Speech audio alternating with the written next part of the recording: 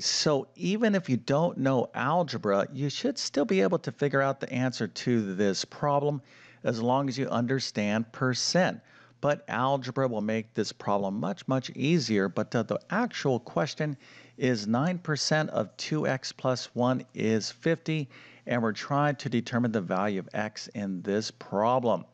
Now, feel free to use a calculator, but uh, go ahead and put your answer into the comment section. Then, of course, I want to walk through step by step how to solve this problem. But uh, before we get started, let me quickly introduce myself. My name is John, and I have been teaching middle and high school math for decades. And if you need help learning math, check out my math help program at tcmathacademy.com. You can find a link to that in the description below. And if this video helps you out, or if you just enjoy this content, make sure to like, and subscribe as that definitely helps me out. Now, as I kind of indicated, you don't need algebra uh, to solve this problem, but uh, you definitely need to understand percent. So let's do a quick review of percent right now. So we have 9% of some number is 50. Now we'll get uh, back to this actual or the actual problem here in just one second, but let's just kind of do a quick pop quiz and let's see if you can solve this problem right here. 70% of 120 is equal to what, right? So how do you find the percent of a number, right? So 70% of 120 is equal to what? And again, feel free to use a calculator, but let's go ahead and take a look at the answer.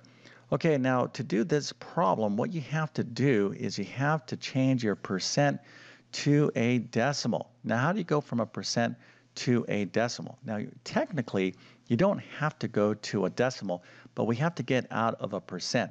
So you can go, um, you can convert or uh, write your percent as a decimal or a fraction. Okay, so the way to do that is to take this number and divide it by 100. So 70 divided by 100 is 0.70. Okay, now there's another way of doing that. So if I have 70.0%, what we can do is simply move uh, the decimal point over two places to the left, but that's just the result of dividing by 100. So what we need to do is get rid of that percent sign and multiply 120 either by 0.70 or 70 over 100. And typically most people are going to write uh, this percent or express it as a decimal. And that's pretty much what you should always do, uh, especially if you, have, if you have a calculator. So 70% of, of 120 Again, we're going to go ahead and uh, write that percent as a decimal. So that's 0.70 times 120, and that is equal to 84. But let's take a look at how we can kind of express all, the relationship between all these numbers. So 70% of 120 is 84. 70% of 120 is 84. So this is, that word right there in mathematics means the equal sign. Okay, so 70% of 120 is 84. Now let's go back to our problem here. So we have 9% of 2x plus 1 is 50. So this is right here is actually an equal sign. So we're taking 9% of this number. Okay, so we would literally uh, kind of just do the same thing, right? So we take this 9% and write this as a decimal. So that would be what? Well, that would be 0.09, okay, or 9 divided by 100. So not 0.9, okay, that's uh, 90%, right? So 90% is equal to 0.9. 9% is equal to 0.09. So we're taking that 0.09 and we're multiplying it by this uh, number here, okay? But we know that the answer is equal to 50. So if I gave you this problem right here, okay, let me go ahead and show you this.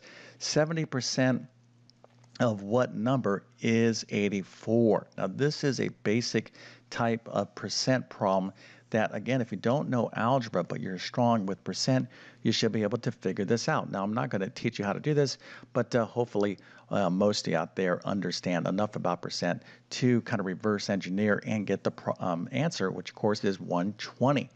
Now, the reason why I'm reviewing a basic percent is because that's what we need to kind of uh, follow these concepts to solve this problem.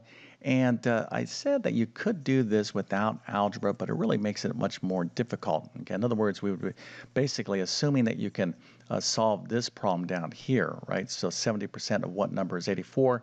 Well, we kind of just get the answer to 9% of what number is 50 and then just kind of play around with that number and then 2x plus 1 and trying to come up with values to figure out what x is equal to.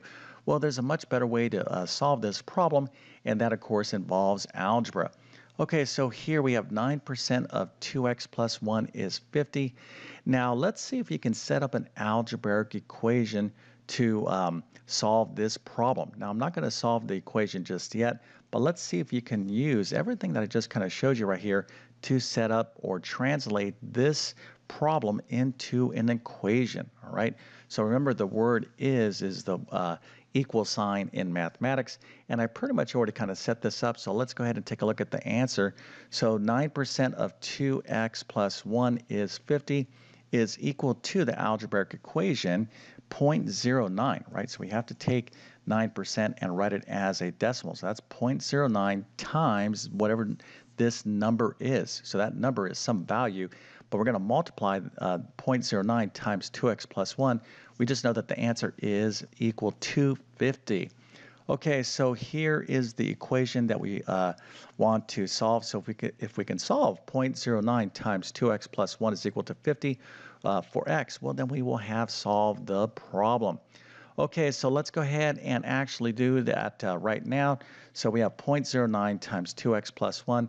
So the first thing that we need to do is multiply this decimal times uh, this 0.09 uh, times 2 and 1. We have to apply the distributive property. So 0.09 times 2 is 0.18x, and then 0.09 times this one, of course, is 0.09. So we have 0.18, 0.18x plus 0.09 is equal to 50. All right, so let's go ahead and take the next step, which of course is having you quickly subscribe to my YouTube channel. Now, I uh, wouldn't stop this lovely math video if I didn't need your support. Now, I've been on YouTube for a long time. Matter of fact, I started my channel like 14 years ago, and I pretty much forgot about it for many years. Maybe I posted a video or two here and there, but I really didn't put a lot of effort into my channel, and the results kind of showed. But maybe about five, six years ago, I really started to try to get better with YouTube and really with my videos, and I put a lot of effort in over a sustained period of time, and the results kind of showed for it. And that's the same thing with learning mathematics. If you're trying to learn math, if you do a little bit here, a little bit there, you're not going to get that far, okay? But if you really want to uh, learn math, you got to get immersed and focused in the subject. And it's not just math or YouTube, it's pretty much anything that we decide to focus on. But my channel is all about trying to make math clear and understandable and interesting. But I need your support and the best way you can support uh, this channel is uh, simply to hit that subscribe button and that bell notification. But my goal is to reach as many people as possible on YouTube. Now, if you like my teaching style and you have a need to really learn mathematics, well, check out my full main math courses. You'll find links to those in the description of this video. And what we're talking about here is uh, basic percent, basic algebra. So a couple quick uh, recommendations for you uh, in terms of uh, courses that you might want to check out is my math skills rebuilder course and or maybe my pre-algebra course. That's kind of the level of math that we're talking about. Okay so let's go ahead and solve this equation here. So we have uh, 0.18x plus 0.09 is equal to 50 so just kind of back up here. So here is our actual equation right? So we have 0.09 times 2x plus 1 is equal to 50 this is 9% of 2x plus 1 is 50 so we use the distributive property to multiply 0.09 times 2. Again, we're using our calculator. So 0.09 times 2 is 0.18x. And then 0.09 times this 1 right there is 0.09 is equal to 50. Now, what we want to do now is move all of our numbers to the right-hand side and keep all of our variable terms on the left. So we're simply going to subtract 0.09 uh, from both sides of the equation, right?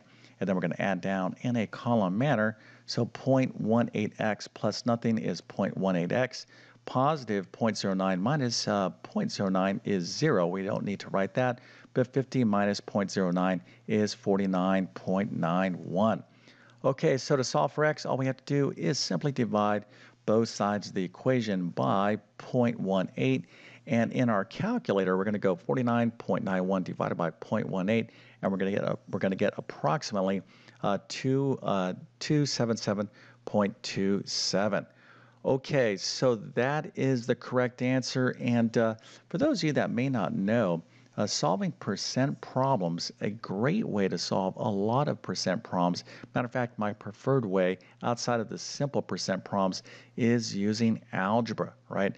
Now, there's other techniques that you could uh, use to solve percent problems, but I'm going to tell you right now, uh, algebra, uh, how to solve or learning algebra to solve percent problems is very, very useful.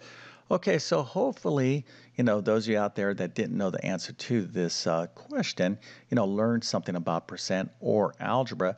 But uh, here's the deal, okay? If you don't know the answer to a math problem, never feel bad, all right? So what you're lacking is just some skills, some sort of understanding.